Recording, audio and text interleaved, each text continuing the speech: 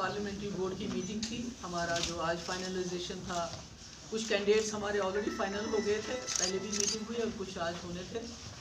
इसमें सबसे पहले मैं आपको ये बताना चाहती हूँ कि हमारी जो पार्टी है, इस वक्त लार्जेस्ट पार्टी है पूरे स्टेट के अंदर। और इसमें जम्मू के बारे में डिस्कशन हुआ। हालाँकि पिछली बार हमने जम्मू राजौरी जो सीट है, उसमें कोई पौने दो लाख के करीब हमने वोट लिए हैं, हासिल किए हैं। इसी तरह कोई चालीस, तीस, चालीस हज़ार हमने डोडा उधमपुर सीट से वोट लिए थे। तो काफ़ी हमारे कुछ साथियों का ये कहना था कि हमें इलेक्शन लड़ना चाहिए।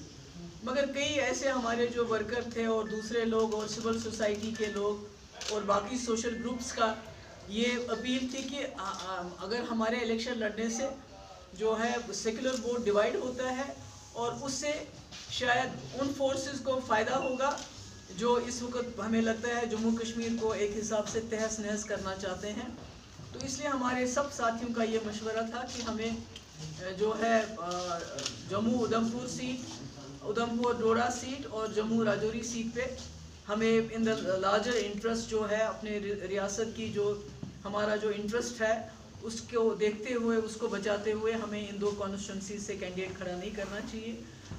ये एक बात है तो दूसरा बाकी रहता है श्रीनगर से हमारे आगा मोहसिन साहब हैं और अनंतनाग से मैं ख़ुद हूँ और बाकी अभी लद्दाख का हमने डिसीज़न नहीं लिया।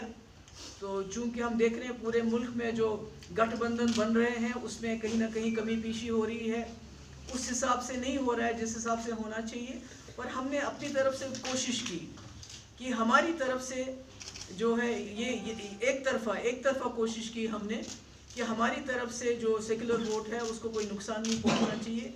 उसको कोई जो है उसमें कोई लॉस नहीं होना चाहिए।